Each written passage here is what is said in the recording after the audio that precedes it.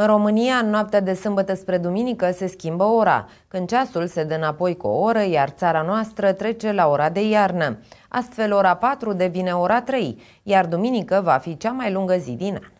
În România, ora se schimbă de două ori pe an, atât în luna martie cât și în luna octombrie. Trecerea la ora de vară se face din 1998, în ultima duminică a lunii martie, moment în care ceasul se dă cu o oră înainte, iar trecerea la ora de iarnă are loc în ultima duminică a lunii octombrie. În noaptea de sâmbătă spre duminică, în, în ultimul weekend din această lună, românii își vor da ceasurile cu o oră înapoi. Practic, în acest weekend se revine la ora normală, care a fost schimbată odată cu introducerea sistemului orei de vară idee vehiculată pentru prima oară de omul de știință Benjamin Franklin în anul 1784. Sistemul orei de vară și de iarnă presupune o ajustare cu o oră a ceasurilor în fiecare primăvară și toamnă, pentru a beneficia de mai multă lumină naturală. Schimbarea orei a fost intens dezbătută în ultimii ani, iar Uniunea Europeană a solicitat statelor membre să decidă dacă vor rămâne definitiv la ora de vară sau la cea de iarnă, însă până acum nu a fost luată nicio decizie în acest sens.